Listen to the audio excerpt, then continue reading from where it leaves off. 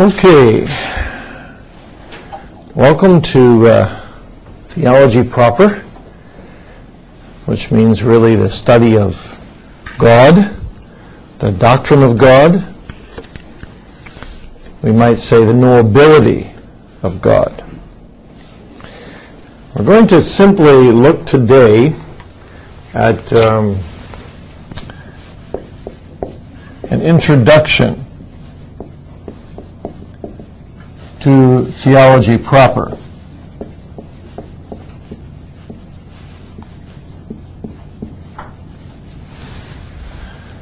And I want to show you two things today.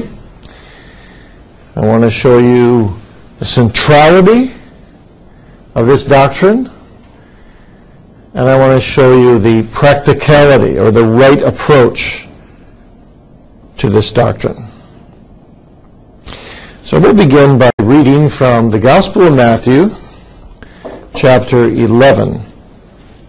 Matthew 11, 25 through 30.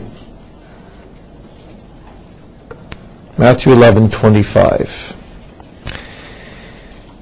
At that time Jesus answered and said, I thank thee, O Father, Lord of heaven and earth, because thou hast hid these things from the wise and prudent, and hast revealed them unto babes. Even so, Father, for so it seemed good in thy sight. All things are delivered unto me of my Father, and no man knoweth the Son but the Father, neither knoweth any man the Father, save the Son, and he to whomsoever the Son will reveal him. Come unto me, all ye that labor and are heavy laden, and I will give you rest. Take my yoke upon you, and learn of me, for I am meek and lowly in heart, and ye shall find rest unto your souls. For my yoke is easy, and my burden is light. Let's pray.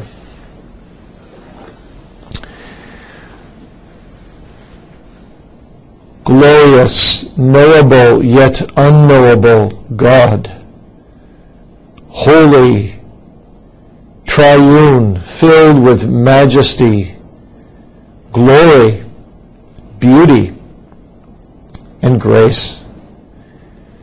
We bow before Thee in these moments, Lord, to confess that Thou art Lord, and to confess that we enter into this subject that we call so simply, so matter of factly, theology proper, yet recognizing that this subject is limitless, beyond our grasp, and yet full of practicality, full of usefulness, full of beauty. Help us then, Lord, to approach this subject on bended knee, remembering that Thou art the object of the subject and that Thou art holy, and we unholy. Let it be our cry then as we move through this class, our daily prayer. Teach me to know thyself, and teach me to know myself. Lord, help us in teaching. Help us in reflecting. Help us not to study the doctrine of God without knowing the God of the doctrine but be near to us. Bless us as we move through this class. And when this class comes to a conclusion, some three months from now, may we know Thee better and love Thee more and commune with Thee more habitually. O oh Lord, Please don't let us go through a class like this without knowing Thee from heart to heart and mind to mind. Be with each student.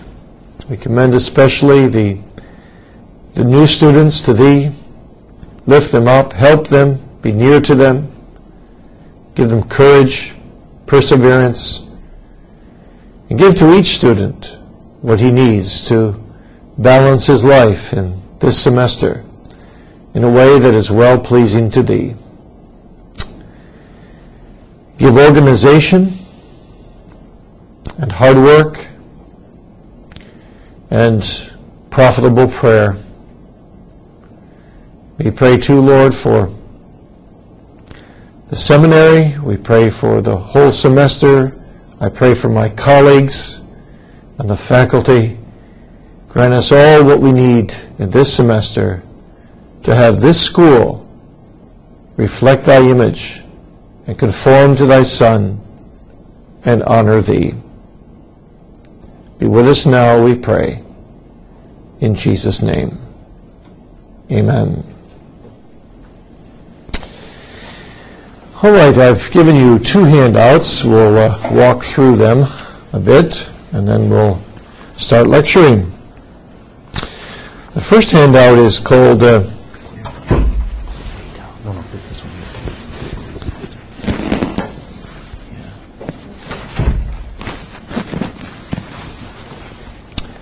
The first outline is actually um, the one titled Systematic 2, Theology Proper.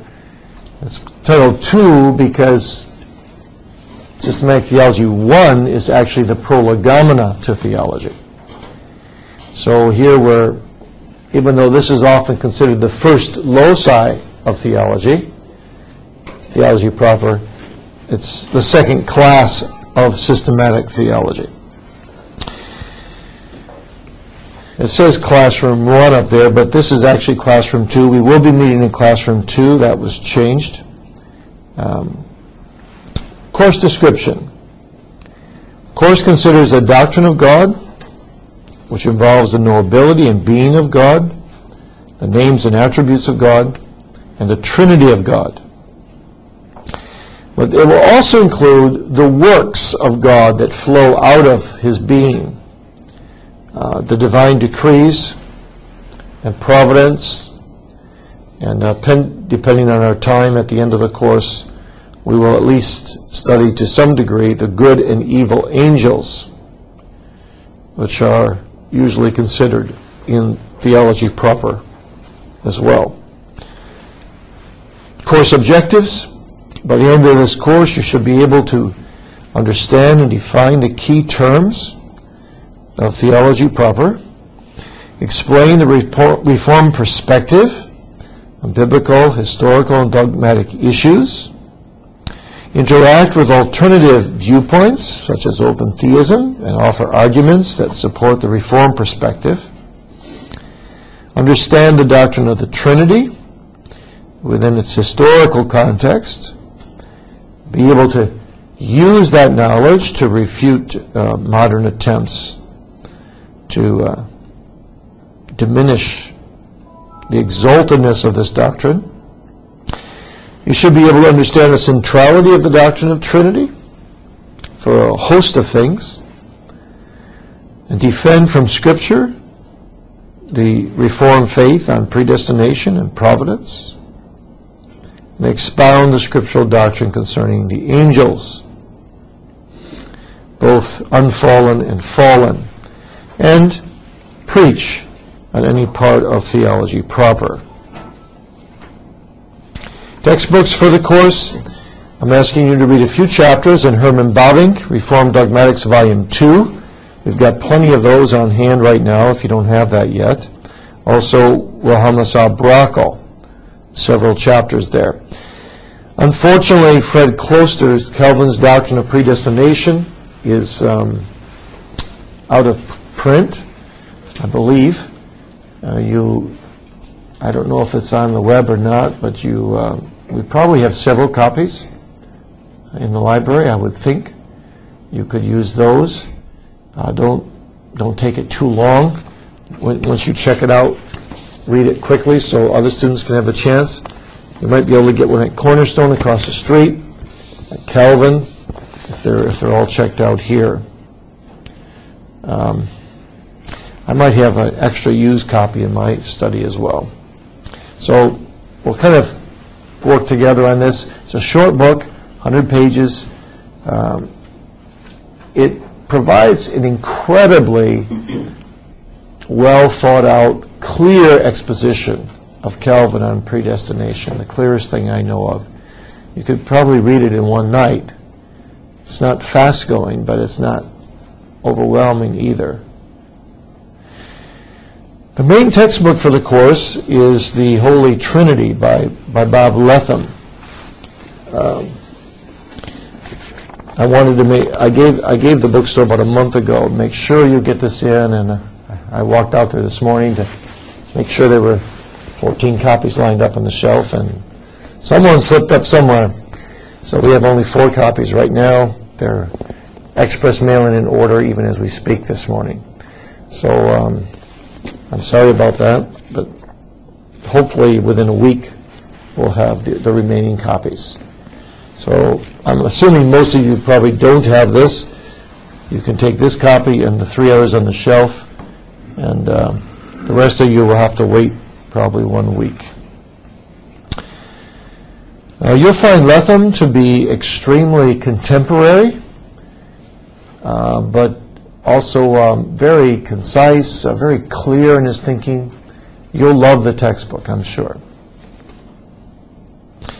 And then I'd like you to read one of the following.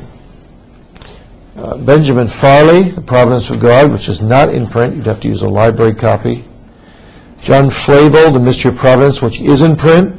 Flavel is an old Puritan, of course. Um, and this is a classic, The Mystery of Providence. Paul Helm has a book on the providence of God that Paul Helm is about a 70 year old theologian today and a, a clear, profound thinker. And then there's a 19th century book um, by William Plumer on Providence, which is still available in print. So I believe the second and fourth of these are in print. I don't. I'm not sure about the Helm book. That may not be in print either. It is. It is in print. Okay. So we got the second, third, and fourth. We only got one of those that are not in print. Then. And then, um, not to overwhelm you or frighten you, but to help you, I've given some recommended reading uh, there as well. Uh, the way to use recommended reading is to, um, at least that, that's the way I did it when I was in seminary. I would take most of what the professor gave me under recommended reading and just spend five, ten minutes with each book, look through it, get a feel for it. If something really interested me, I'd make a note, and maybe I'd do it during the summer and re- read a bit more or whatever. But these are not required for you to read. If you want to do nothing with this list, that's okay too. The other thing you might want to be aware of, though, is it's a handy list also for starting places for your paper. Because often you'll be taking a subject that will be related to this, and the recommended reading list can help you get going. Basic course outline, you see it there in um, eight simple points. This morning we're going to try to cover point one already. We'll probably almost make it through, if not make it through. And then uh, on Thursday, class meets the same time as on Tuesday, we'll be starting hopefully point two, the existence and being of God, and jumping right into the actual, actual content. In terms of course requirements, this course will have um, a midterm and an exam, which are both 25% each. The midterm will simply cover to the point where we're at when we give it to you, where we're at in the lecture outlines. Final will not cover the whole course, but will cover from the midpoint to the end, so it won't be cumulative. And on the final exam, you notice the note there. I want you to just write down the percentage of the required readings that you actually read. So let's say you made it through 90% of it, you put 90% there. And um, that will factor in a little bit into your grade as well. If you only read 50%, it's obviously going to negatively impact you. but I'm trusting you to be honest with me there. Um, Also 25% of the grade uh, is a 15-page paper on some aspect of theology proper.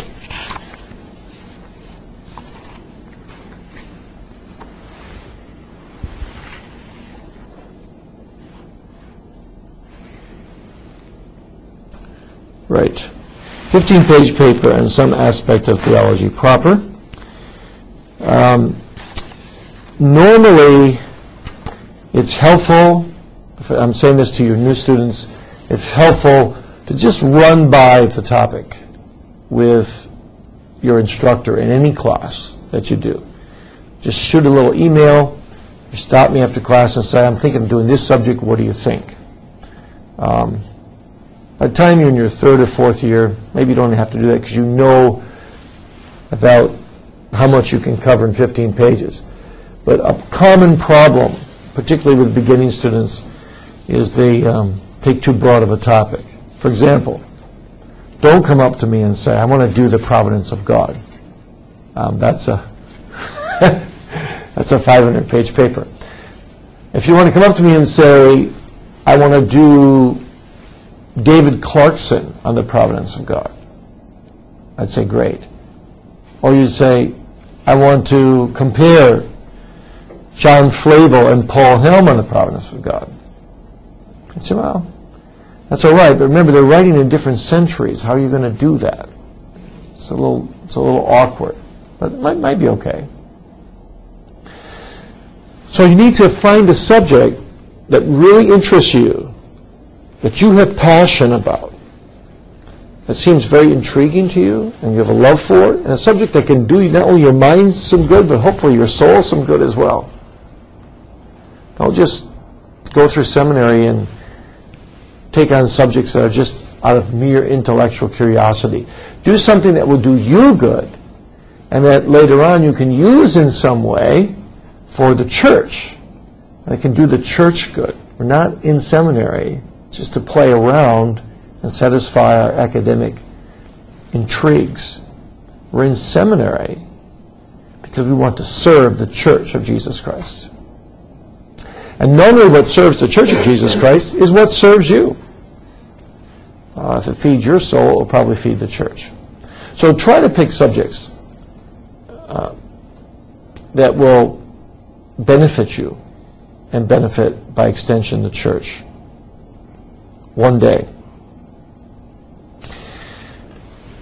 All right. Are there any questions about uh, course requirements or the outline? Also, let me say for the new students, what we're, what we're doing, because we are um, videoing these courses, rather than have you, you raise your hand and ask questions right in the middle of a sentence or so, we're lecturing, at least this is true of my courses, I'm not sure how the other professors do it. I'm lecturing from an outline, that's the second item I've given you, and when I get to breaking points, I'll say, now are there any questions? So, I mean, even if, if questions pop up and you're afraid you're going to forget them until I ask you seven minutes later, just type them right into your notes in capital letters or something, and when I say questions, you can just go right back to it and raise the question. Uh, That's the best way to ask questions. Plus, even if we weren't videoing it, I often find that when you interrupt a professor and ask a question in the middle of him explaining something, about eight times out of 10, we're actually going to get to that in the next couple minutes anyway, particularly if it's a good question, because a good question, well, hopefully the professor's smart enough to, to get to that as well. So you'll find that some of the questions that will pop into your mind, by the time we actually conclude that point, we'll actually have answered them. All right? Any, any questions at this point? Yes, Seth? Um, I noticed that you have a rather busy schedule, traveling schedule. Yes. semester. Are there any dates that we need to be aware of? where we won't have class? Yeah, I'll work with those with you next week. Okay. I'll, I'll have that all put together next week, Tuesday. But this week is uh, normal, so we'll take a one week at a time here, but I, I will work that up with you. We'll have to reschedule just a couple uh, classes. All right.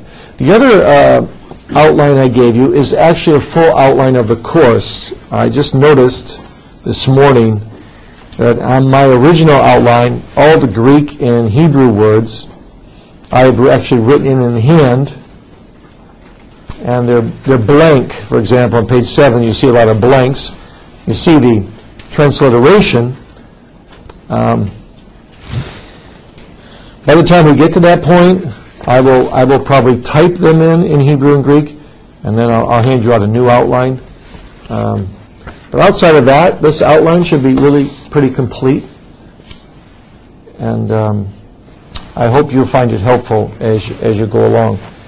If you want me to email it to you, um, well, I'm getting your emails right now. How, how many of you would like me to email this to you, that you'd actually put it up as you take notes and you can insert things?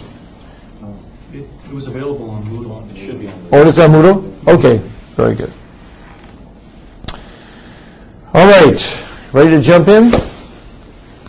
Let's look then, first of all, at an introduction. And this introduction will take me, I believe we have to 10:05. It will take me the whole time, um, because there's several things I want to say.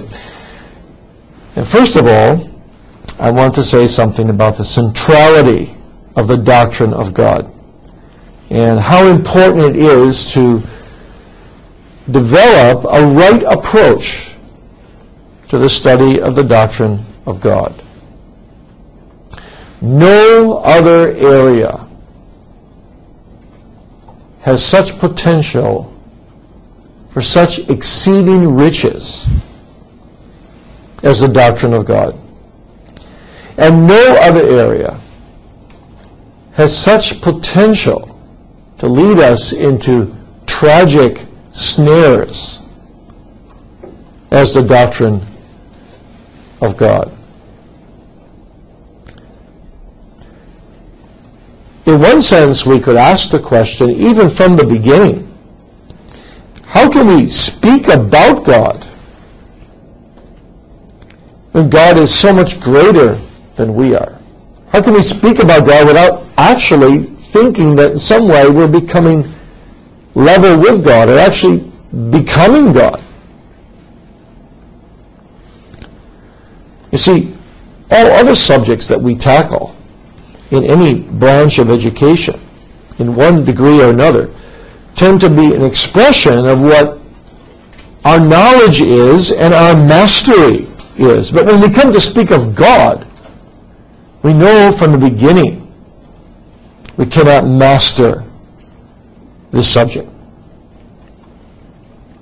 We can only go as far as revelation goes, God's revelation in the Bible. And even that is a challenge to fully grasp all that Scripture is saying about God. So we approach this subject with a humble heart. We approach it on bent knees,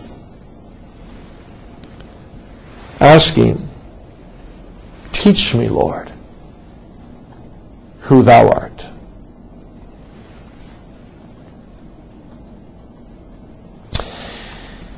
Now, when it comes to the division of the subject, you notice we're first going to look at the being or existence of God.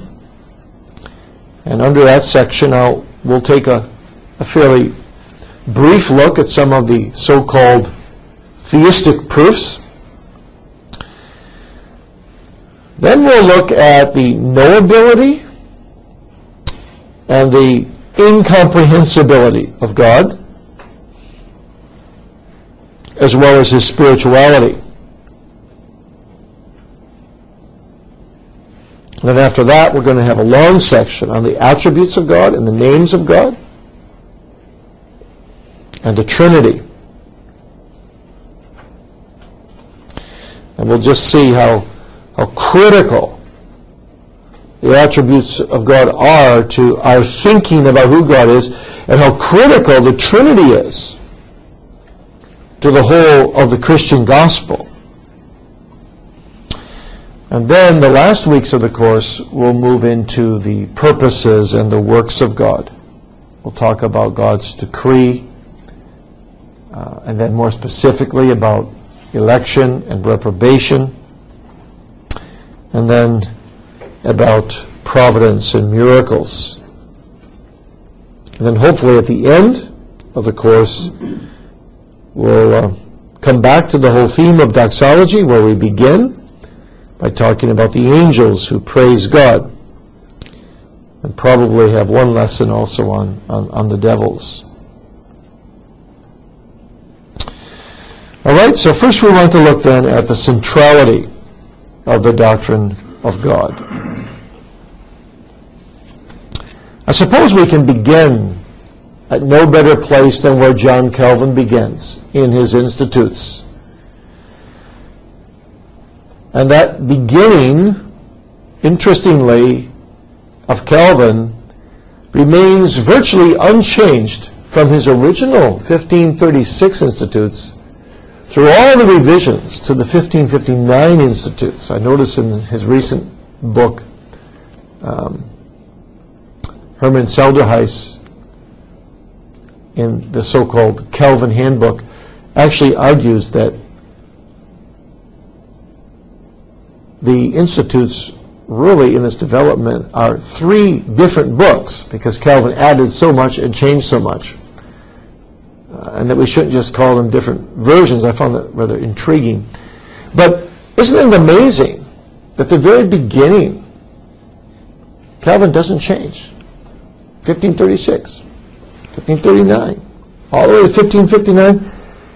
Basically, what he says is nearly all the wisdom, this is his opening words, nearly all the wisdom we possess, that is to say, true and sound wisdom, consists of these two parts the knowledge of God and the knowledge of ourselves.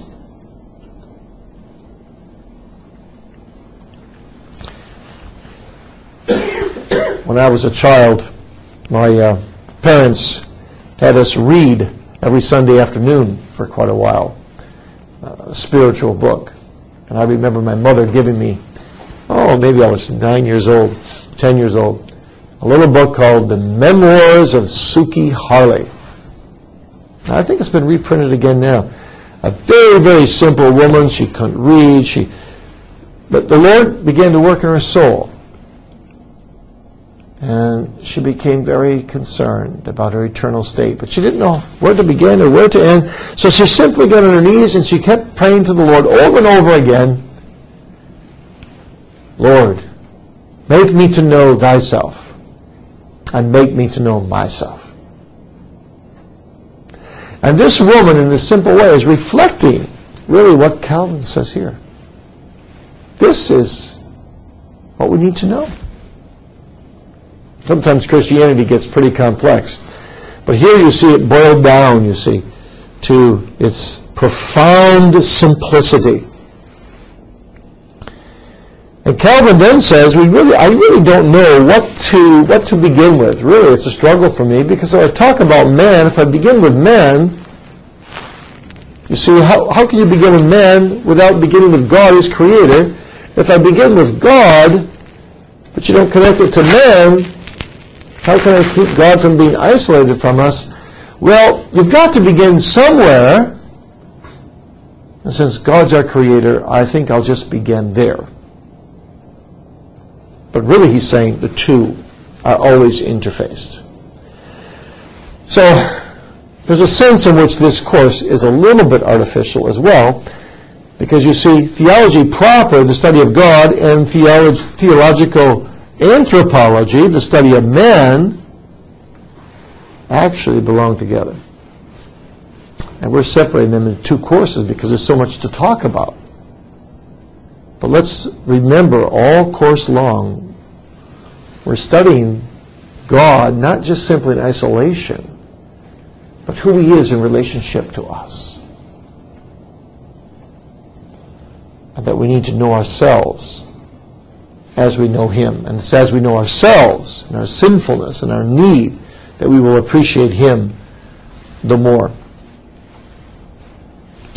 Now, what Calvin is really saying here is that because we are made as the image of God, it is definitive of our nature, you could even say endemic in our nature, that we cannot truly say anything accurately about ourselves unless it is contextualized within this orbit of God's being and our knowledge of Him. Or to put it another way, to be truly human, to be fully human, is to be theocentric and to be theo-dependent.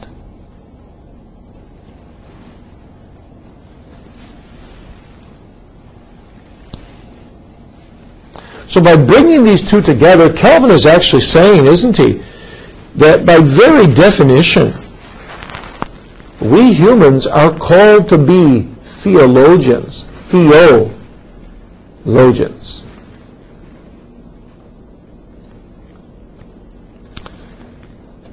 And that the whole of our lives, in one form or another, is really a matter of theology. So we call this subject theology proper because theo, of course, means God, and logos means to study. So we're studying God, and uh, God Himself then is the supreme proper object of theology. So our very humanity demands theology.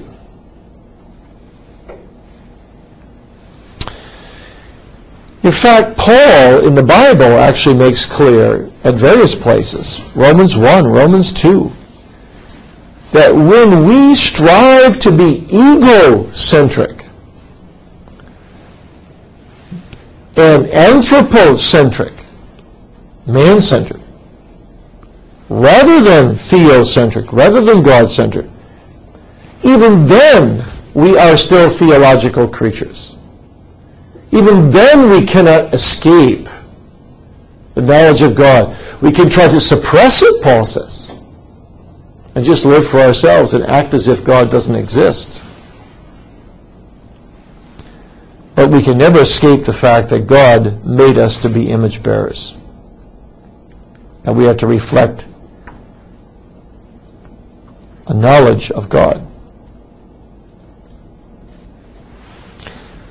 In fact, every thought of the human heart, every action of mankind is really at its root a theological thought, a theological action, because we can't ever do anything that doesn't somehow relate to God.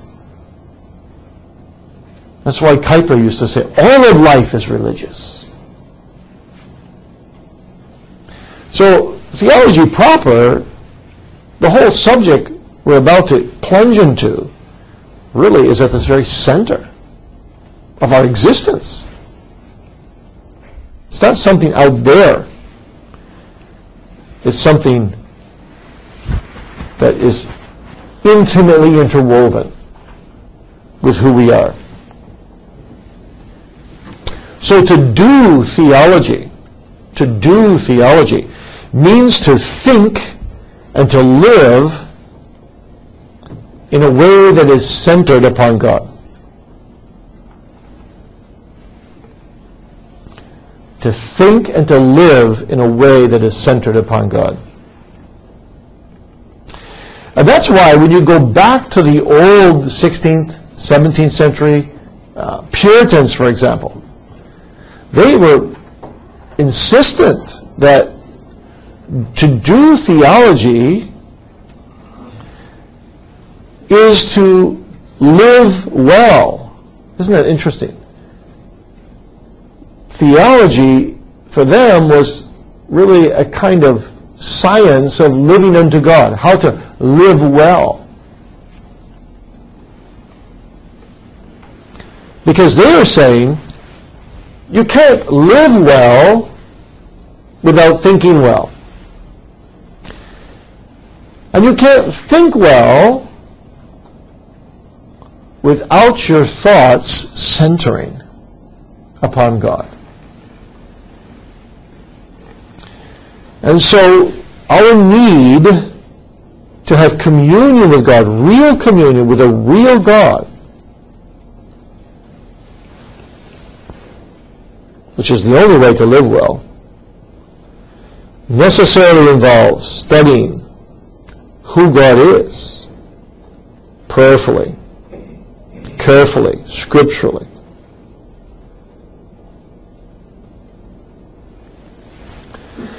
And isn't this exactly what the Bible says distinguishes the believer from the unbeliever, the godly from the ungodly? The godly has God in all his thoughts, says the psalmist. And the psalmist also says, that, says elsewhere, elsewhere that the ungodly banishes God from all his thoughts.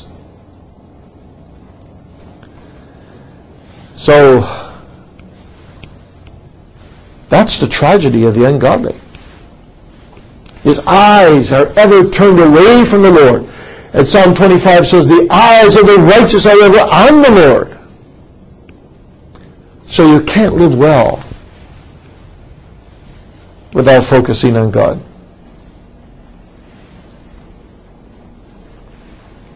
Now, that doesn't mean that the believer doesn't ever think about anything other than God, but rather, rather it means that the believer is dominated by the fact that he or she thinks out of a center that is theocentric. A believer thinks of all things as coming from God and being related to God.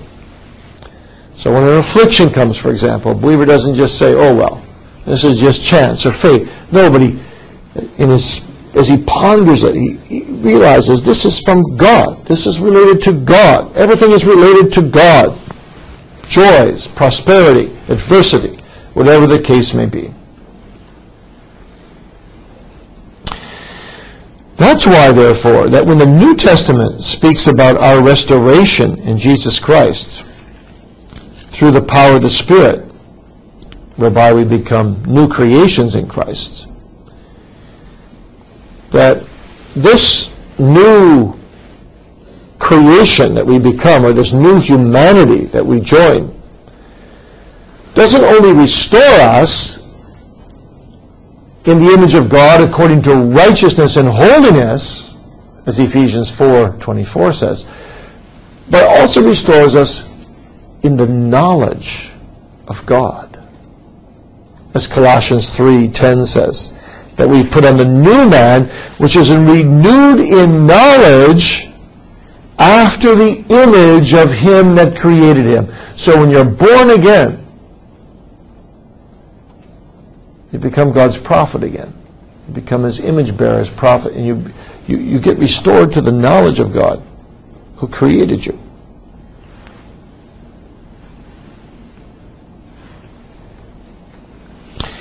Now, that is not to say that the unbeliever ceases to think theologically, even though he's trying to push God away. In a sense, he cannot but think in a theological way, but the, because he knows deep down that everything is related to God, even though he's trying to suppress it. But what he's doing is he's thinking in an anti-divine way.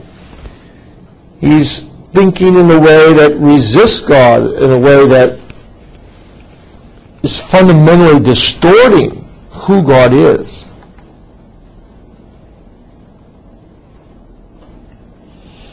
And all of this then just simply proves the age-old maxim that Augustine gave us, and you know his quote very well, Thou hast made us for thyself, and our hearts are restless until they find their rest in thee.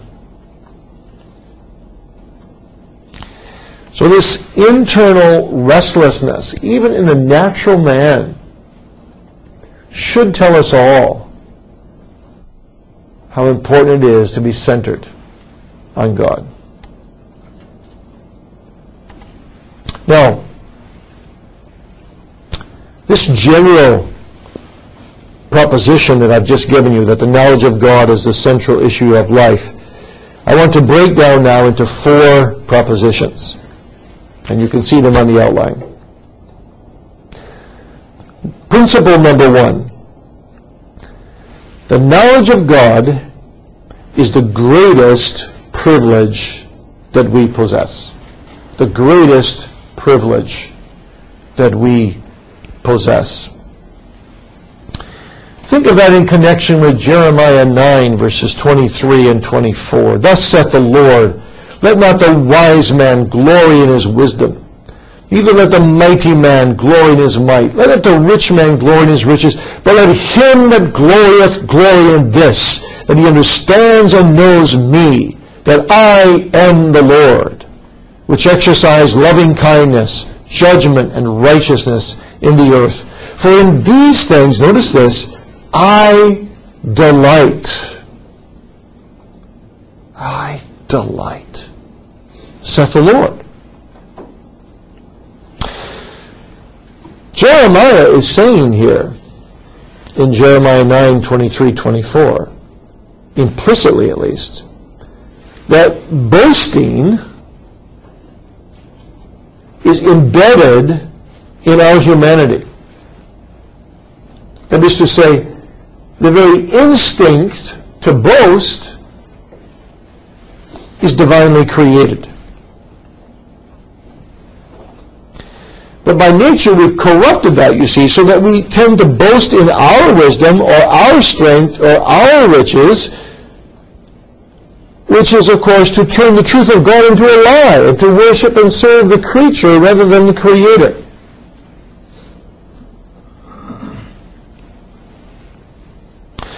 Because the instinct that God put in us to boast was an instinct that was created to operate in one direction only, to operate looking to God. Let him that glorieth glory only in this, that he understands and knows me, that I am the Lord. Our boast is to be in God.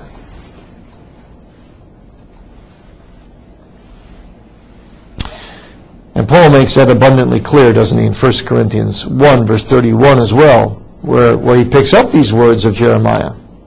And he applies them to the life of the believer. And he says, This is our boast. Let him that glorieth glory in the Lord.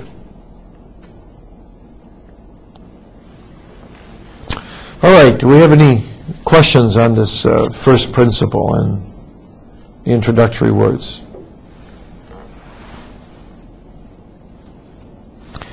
All right, let's look at principle number two. Principle number two.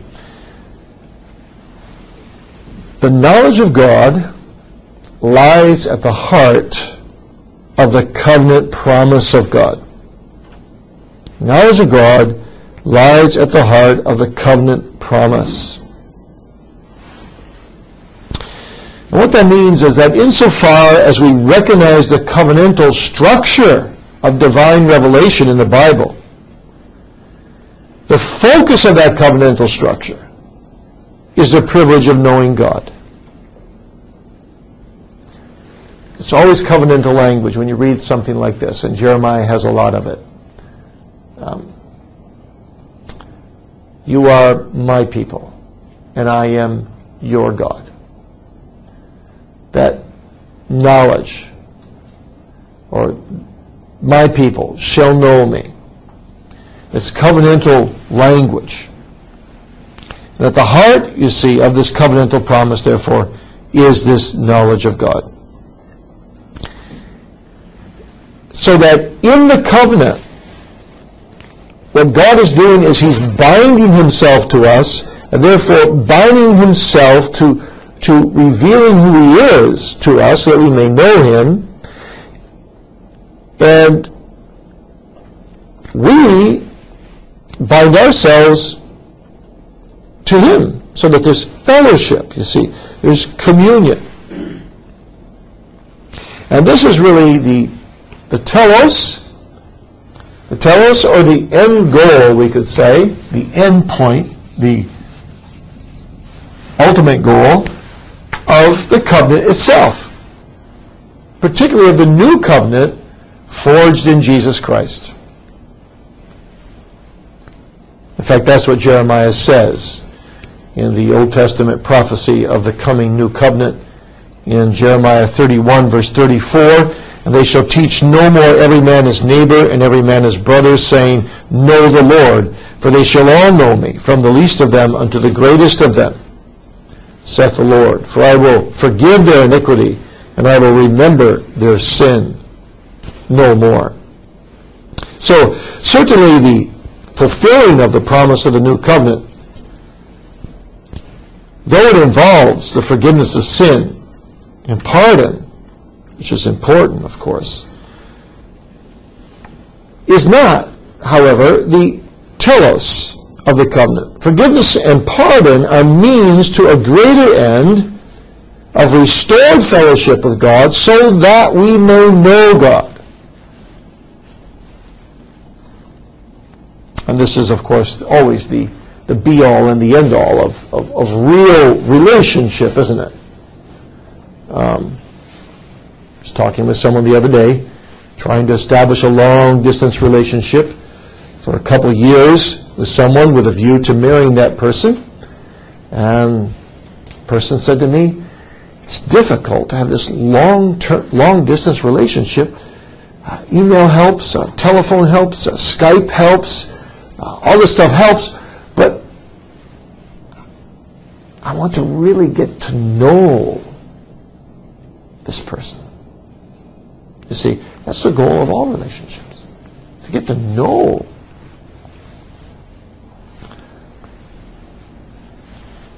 So, this comes out, you see, in Jeremiah 31.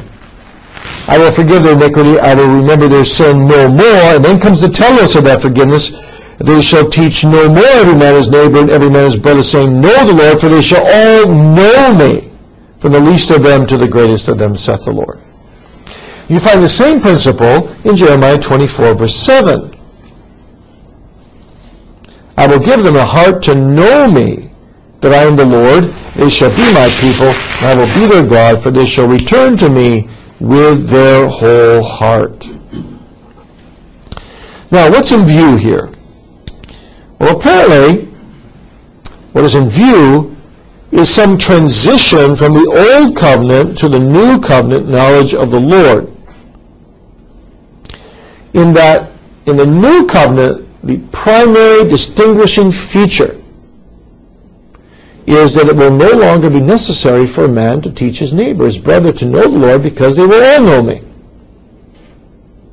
So, there seems to be a new emphasis in the mode in which that knowledge is mediated to us. Let me explain what I mean by that.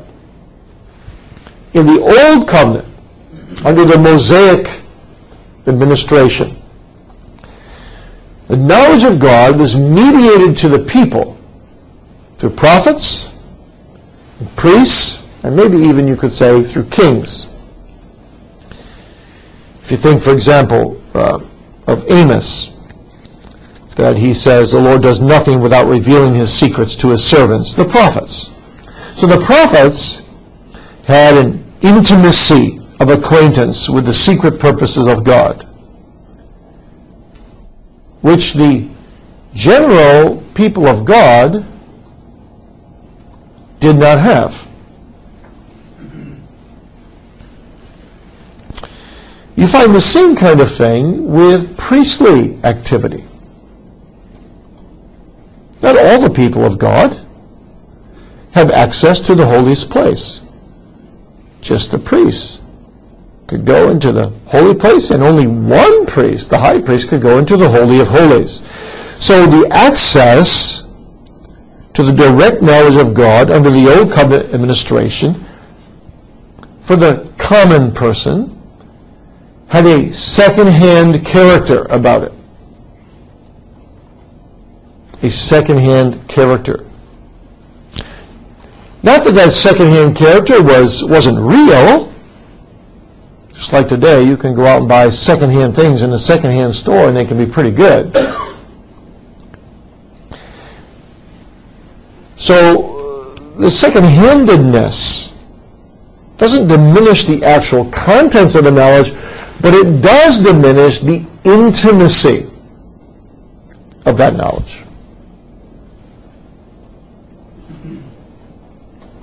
Think about it this way. You hear about somebody from somebody, and you form conceptions, you form right knowledge. It's great. But if you really want to get to know that person, what do you say? I've got to meet him. I got to meet him myself. I got to take him out to lunch. Can't do it over email. Can't do it. I got to meet the person face to face. So that's what happens under the new covenant, you see. The Holy Spirit is poured out as the Messianic Spirit, the Spirit with a capital S of the prophet, priest, and king upon all people, upon all those who belong to the Lord. So that in the new covenant, we don't have mediated access by prophets, priests, and kings, but we have immediate access to the knowledge of God through the God man, Jesus Christ, who is himself God. And for that reason, we're brought into the intimacy of knowing God. And that's why John 17, 3 says, This is life eternal to know God and Jesus Christ, whom he has sent. And you have to understand, of course, and I think most of you know that already, that the very word to know in Greek, as well as in Hebrew, is a very intimate term. Unfortunately, we have just general terms for knowing today. So we could say, I know that's a tree, I know that's a robin, I know that this is Kyle Borg, and I know I love my wife, and I know God. And we use the same word for all of that. Well, to know that's a tree isn't a very intimate, heart-rending experience, is it? To know my wife intimately is much deeper. To know God intimately in Jesus is deepest of all. And you see, that's the beauty of the new covenant. And that's why John says in 1 John 2.27, the anointing which ye have received of him abides in you. You need not that any man teach you. You see, he's picking up actually from, from Jeremiah's promise. But as the same anointing teaches you of all things and is truth and is no lie, even as they have taught you, you shall abide in him. Now, about this point, you might wonder, well, why am I in theological seminary if I don't need any man to teach me? Uh, but that's not the point, you see. The point is not that you don't need to be taught, but the point is that you, through human teaching, through ministers, through seminary, through means that God uses, you may be helped along the way in coming to know the Savior more, more directly. But it's not what I can give you that's going to bring you in itself into the intimacy of that knowledge. It's only as you meditate on truth and come to God in Jesus Christ that you will come directly into the intimacy of this knowledge. So the privilege of knowing God lies at the center of our covenantal fellowship with God. Now that leads me to the third principle. That the knowledge of God is central to salvation. Salvation in Jesus Christ. You see, salvation is not just a matter of justification or just a matter of forgiveness. Salvation is far more. Salvation is not just having my sins wiped away and having a clean slate, before God, but salvation is relationship with God, reconciliation with God, restoration with God, fellowship with God.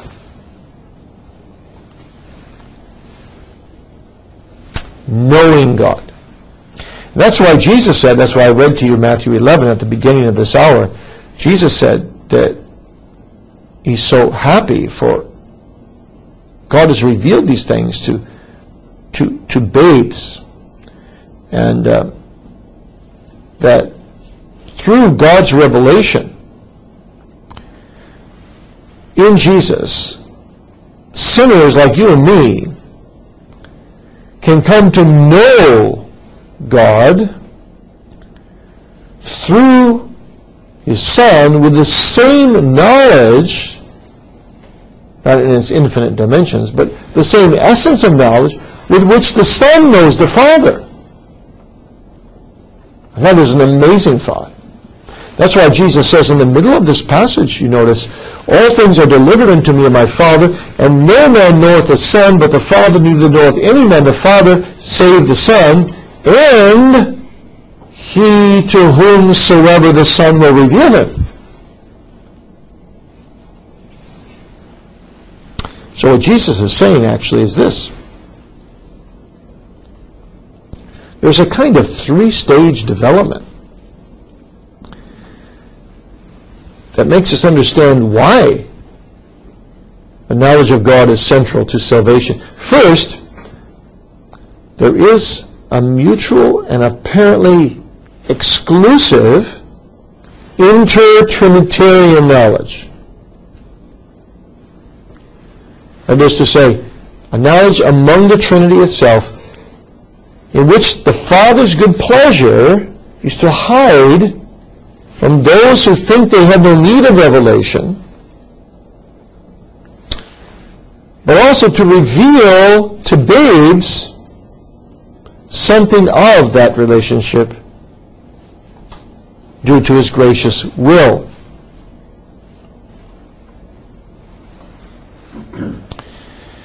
So on the one hand, you first think, well, this is an exclusive knowledge between the Father and the Son. But then you're told this amazing telos, this amazing end of all knowledge of God, that we are made as the image of God in order that we could come to know God and taste some of that fellowship with God that the Father and the Son possess together in their uncreated form. This is the miracle of salvation.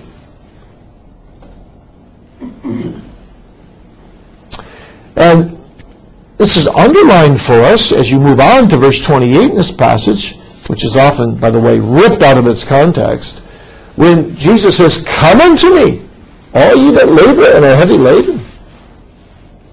This is, of course, a, a gospel proclamation. But it's more than that. These words actually are embedded in the midst of Jesus talking about divine election and his conviction about the knowledge of God being the center of the Christian gospel. And so Jesus says, Come unto me, and I will bring you into this wonderful knowledge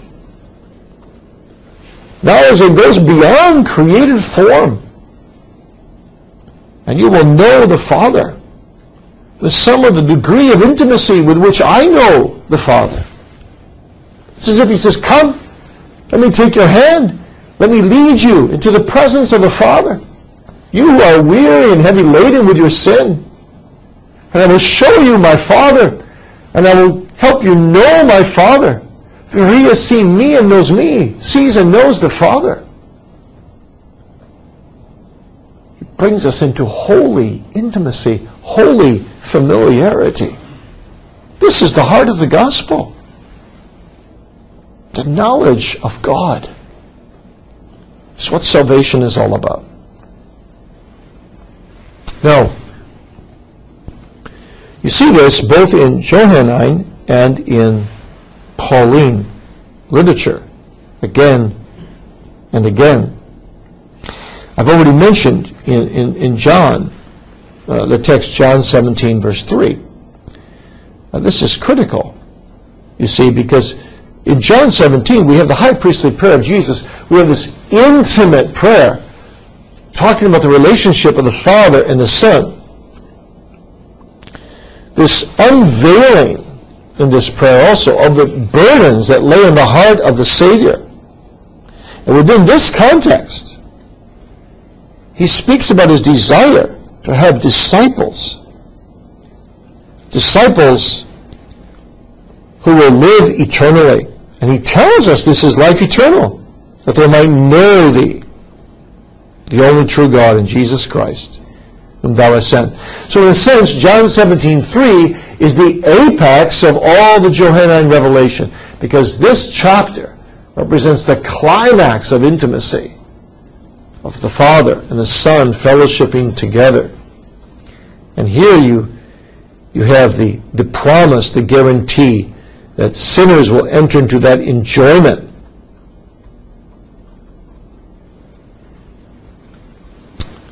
That enjoyment by which they will realize that, that, that virtually the Father and the Son, in terms of intimacy and fellowship with God, almost become like synonyms. For he has seen the Father through Jesus Christ, really comes to know the Father. Now, interestingly, John later on in his first epistle ties this all together with assurance of faith. And he says, 1 John 2, verse 3, and hereby do we know that we know him if we keep his commandments. So, we know him not only intimately by his bringing us into the presence of the Father through the, through the Word revealed to our souls by the Spirit, but we continue to go on to know him better as we fellowship with him also through obeying him, keeping his commandments.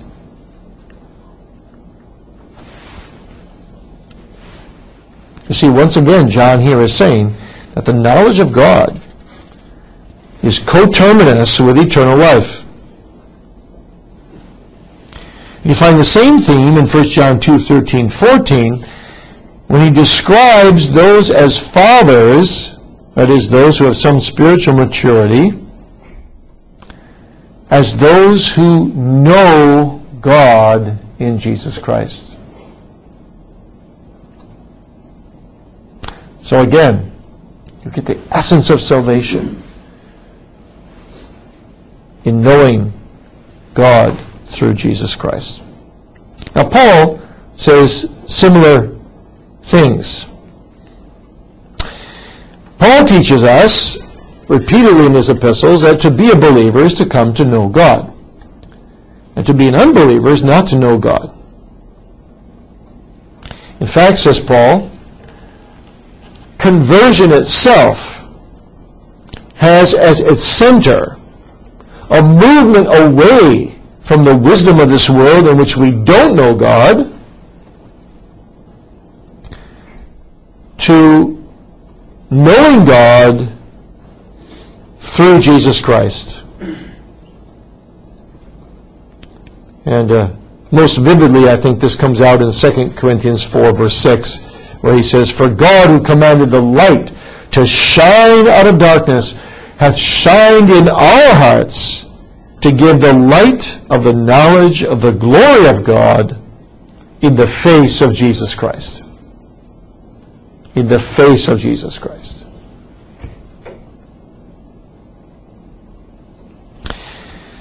Another place where Paul underscores this in a powerful way is Galatians 4, verses 8 and 9, where he puts the antithesis between faith and knowledge.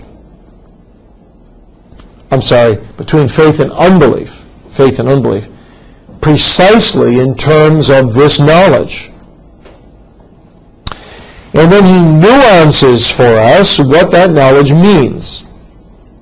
And this is what he says. I'll put it in my own words. He says, Formerly, you were in bondage. Why were you in bondage? Because you did not know God. This is Galatians 4, 8, and 9. So I find that interesting, don't, don't you think, that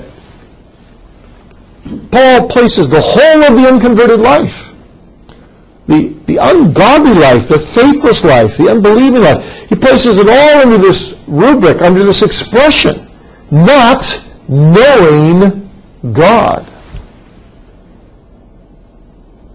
And then he says here, instead you were slaves.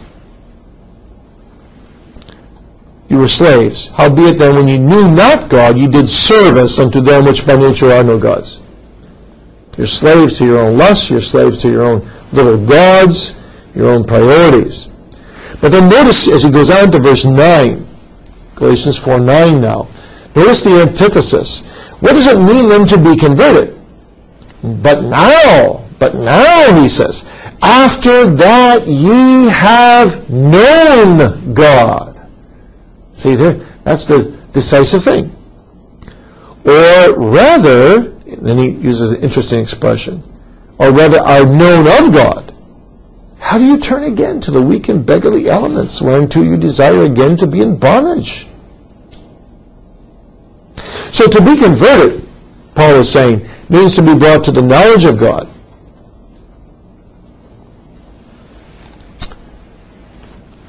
And that knowledge of God comes to us through being known of God. In other words, this knowledge of God isn't something that we get credit for.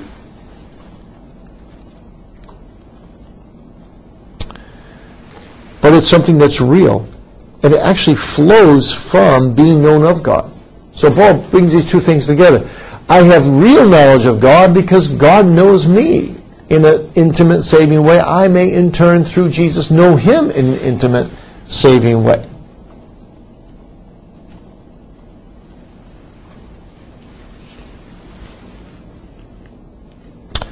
So, this knowledge of God involves my whole being, my whole being being exposed to being known of God.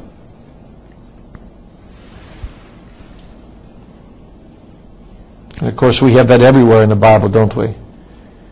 That believers want to be known of God. They, they want to be honest with God. Search me, O God. Know my heart.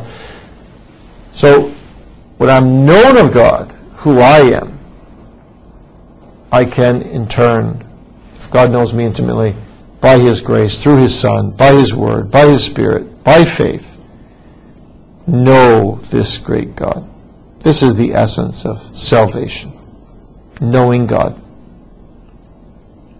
I heard Sinclair Ferguson at a conference recently say, if Packer hadn't taken the title for his classic Knowing God and John Calvin had thought about it in his own day, he probably would have named the institutes of the Christian religion Knowing God. That's a rather anachronistic statement, to say the least. But you get the point. Really, this is what theology is all about knowing God. Well, the last principle, then, a very brief one, and then I'll open for questions again, is that this is the key also to Christian growth knowing God. This is implicit in everything we've said so far. For example, in Colossians 1, verse 10, where when Paul prays for the Colossians, whom, whom by the way, he has never met, he, he prays that they might bear fruit in every good work. And he sees growth in the knowledge of God as a precondition of that bearing fruit in every good work. He says this, that ye might walk worthy, Colossians 1.10, of the Lord unto all pleasing, being fruitful in every good work, and increasing in the knowledge of God. And again, Paul, in his letter to the Ephesians, says, Ephesians 1.17, that the God of our Lord Jesus Christ, the Father of glory, may give unto you the spirit of wisdom and revelation in the knowledge of God. And Peter, too, speaks about the grace and peace that are ours through the knowledge of God. 2 Peter 1, verse 2. So the knowledge of God works out fruits that cause us to grow in the Christian life. So the knowledge of God is, is the big epicenter of our salvation, but that knowledge is vindicated, uh, ratified as being true as the believer bears forth fruits. And when the believer can see the fruits that the Holy Spirit has worked in him through the knowledge of God, he can look at those fruits and say, and this is, of course, going back to John now again, I am a child of God. I do know God. The fruits of my life evidence that I know God. And of course, that is absolutely critical in our study of God. Because if, and I mentioned that in prayer in one way or another, didn't I? If we don't grow in our knowledge of God through studying God, well, what have we gained? So if you come to the end of this class, come first week of December, and you have to look back and say, I don't know God any better than when I began, what did it profit you? That's why this subject is so daunting and yet so exciting. It's got so much possibility. Because as we talk about God together, if God blesses it, just think, come December, you may know your Creator better than you know Him now. If that's the fruit of this class, it will be an unforgettable class. It will be a, a tremendous class for you. But if if we keep God at arm's distance the whole class and we just study Him, in J.I. Packer's words, as a spectator, we don't get out in the playing field. He called it a spectator knowledge of God. You keep your distance.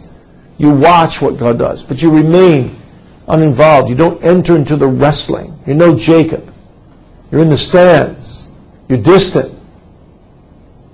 If that's all we do in this class, you may get an A at the end of the semester, but in God's book, you really got an F.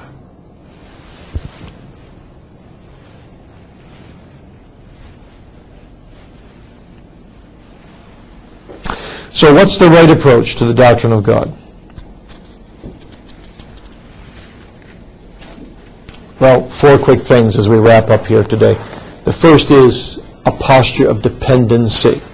A posture of dependency.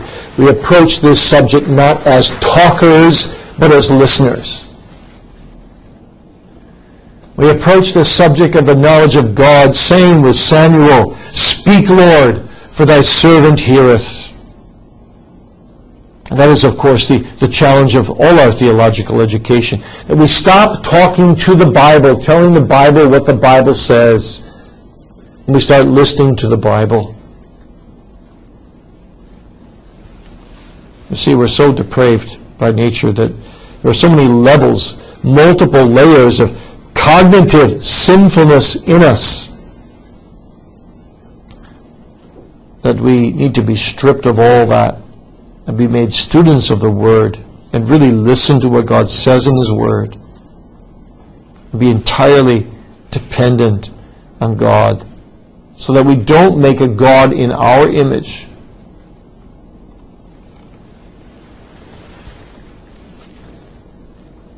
You know, this is the the joke about the quest for the historical Jesus that was often told of liberal New Testament scholars. They were looking down in a well to discover the historical Jesus, it was said. They wrote their books on the historical Jesus, but the books really were nothing but a reflection of their own face looking into the well and made a God after their own image. But we can do the same thing today. And you know how people do it today? You can hear it when their sentences start out like this. Well, the way I like to think about God is. My friend, the way you like to think about God is totally irrelevant. The question is, what does God say about God in the scriptures?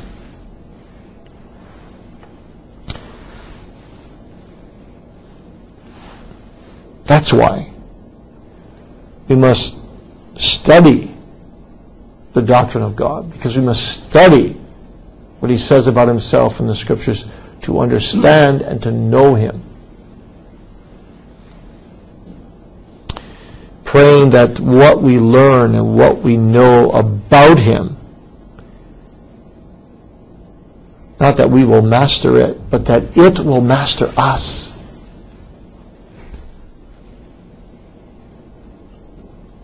Secondly, we need not only to come to the subject with dependency, but with humility and repentance. You know, the sinless seraphim to cover their faces, veil their faces before this, this holy God. Sinless seraphim.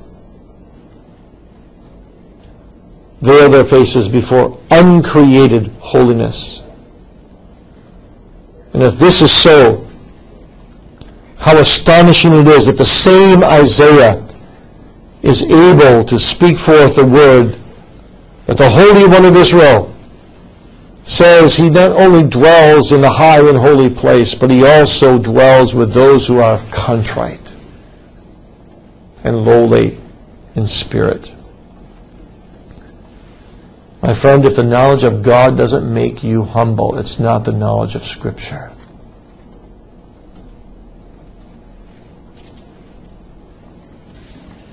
Bavinck puts it so well in your, in your reading assignment. He says this It is absolutely necessary that the person who cultivates any branch of knowledge, first of all and most of all, studies to be modest and humble. And this applies particularly to the theologian. He should not think of himself more highly than he ought to think. And so in theology, as we study God, we must pray for humility, that we might think God's thoughts after himself, after the manner of his own revelation, rather than create our own thoughts about him, and that we must do so with intellectual and emotional repentance, being sinners in his presence.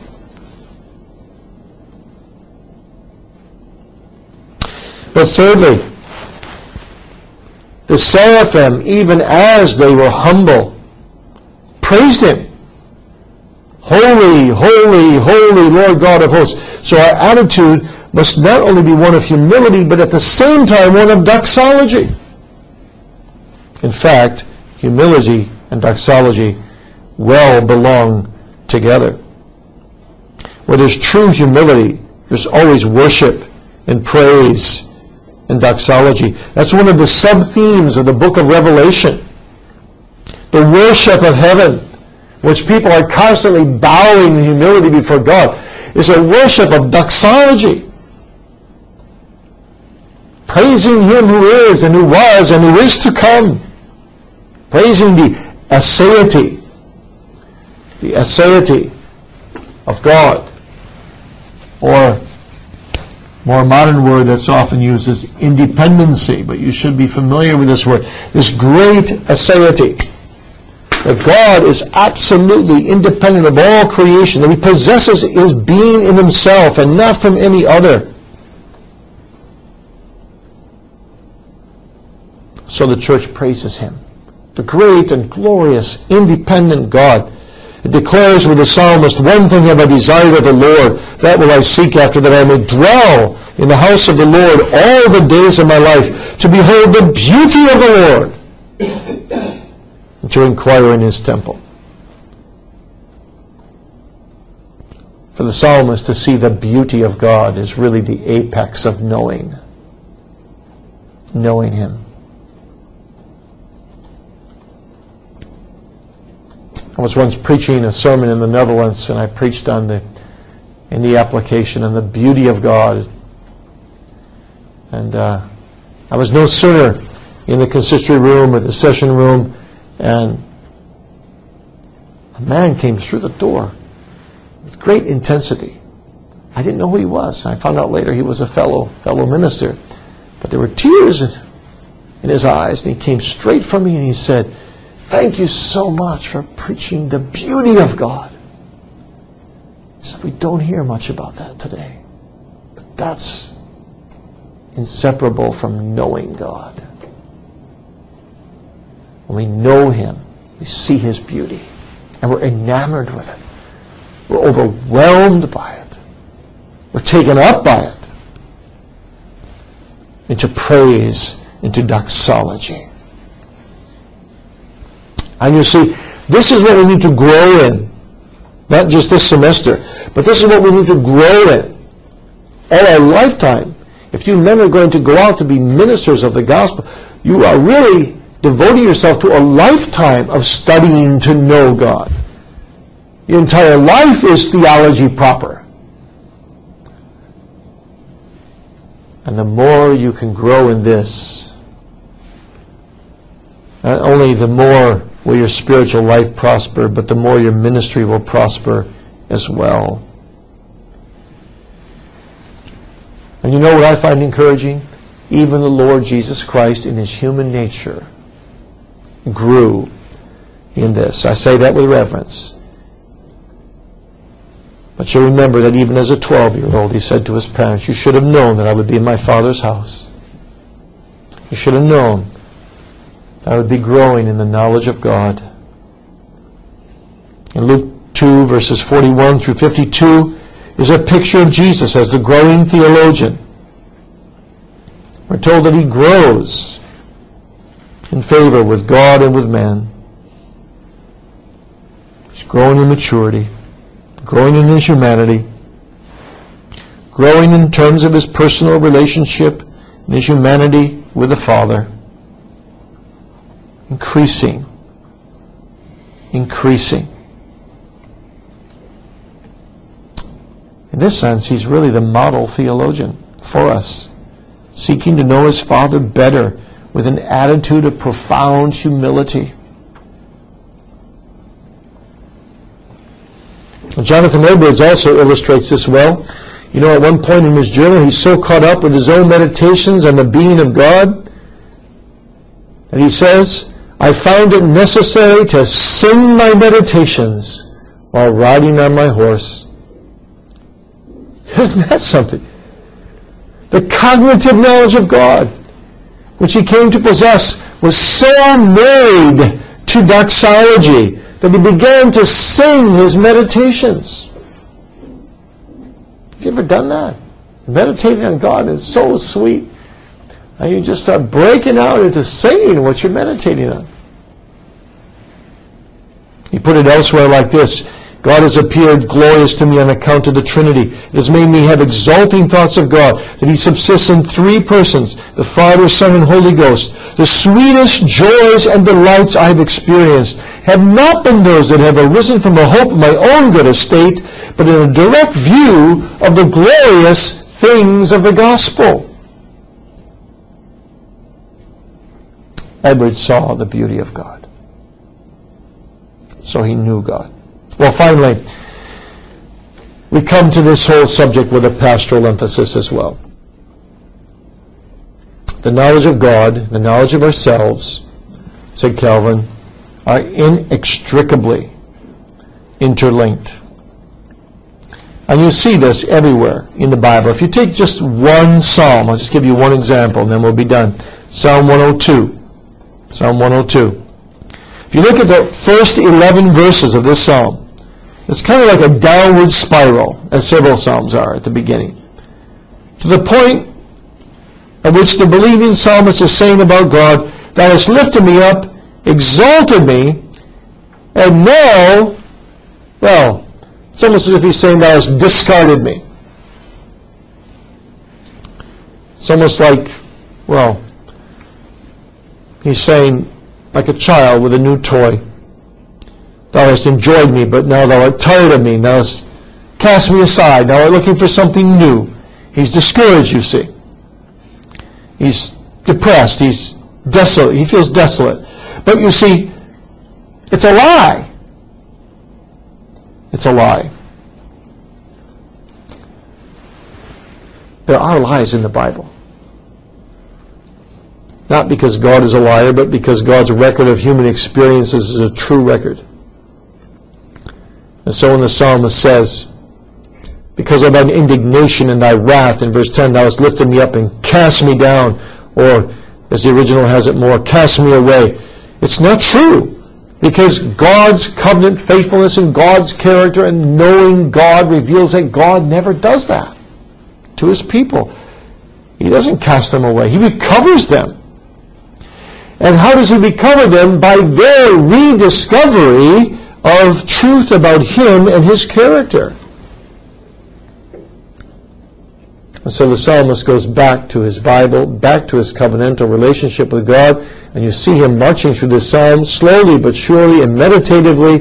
He returns to the revealed truth about the character of God, about his covenantal relationship with God, and that lifts him up spiritually and psychologically to, by the point of the end of the psalm, he's affirming what he denied in the beginning and in the middle of the psalm. It's almost as if he says by the end of the psalm, you know, in the middle of this psalm, I was telling you there wasn't a covenant, and now I know again that there is a covenant, and God will be my God, even to my children and to my children's children. Well, where does, where does he get this from? He rediscovers in his meditations who God is, and refocuses on his deliverance. So there's a very pastoral direction here. When we get hold of a right doctrine and a right knowledge of God, it is pastorally uplifting. And if this is true for the psalmist in the Old Testament era, how much more true isn't that for us today, we who live in the light of the full and final revelation of God given to us in the revealed Savior? Jesus Christ. Well, I hope through this lecture this morning, in an introductory way, you see the centrality now of the doctrine of God, and you see properly the attitude with which we ought to approach this doctrine. All right, we've got five minutes here for or three minutes for questions. Yes, Marty. Um, I think we'd all agree in the importance of Christ-centered preaching. Um, is there a way of uh, abusing that and failing to preach God? Yes, there is. Um, theologians have labeled it as Christomonism where the Father and the Spirit are ignored. And of course, th- that was Calvin's valuable contribution to theology proper, is that he really brought everything back into a very Trinitarian focus. Um, and then the Puritans took that even further and showed the Trinitarian Trinitarianness of all theology. Um, and sometimes you do hear preachers that it seems like they're almost Christo-monistic, just talking about Jesus only. At the same time, of course, we have to reckon with statements like Paul, 1 Corinthians 2 2, don't we? Now, determined to know nothing among you save Jesus and Him crucified. And as we work with that, we realize that to preach Christ really ultimately is to preach the triune God, if you preach Christ rightly. And to preach the triune God is actually, Calvin would tell you, to preach the triune God is also to preach Christ. So when he was preaching about the Father, he thought he was also preaching Christ. And this all ties in together with the whole idea of John 14, verse 6, He who has seen me has seen the Father. So there is an intimacy of connection. But there still can be a danger you still can preach Christ in a way in which it seems like the Father is just marginalized and the Spirit is marginalized. I think that can be problematic. But when you're preaching the fullness of Christ, of course, the Spirit longs to reveal Christ, the Father gets his delight in Christ.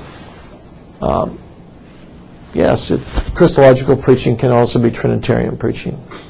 But you need to ask yourself, what is the fruit of such preaching? When people walk out of church, do they just say, what a, what a wonderful Savior we have? That's, that's a good thing, of course. Or do they also say, what a wonderful God we have, who, who gives such a glorious Son? You know, so you need to examine your own, your own heart that way. What the fruit of your own preaching is. Any other questions? Okay.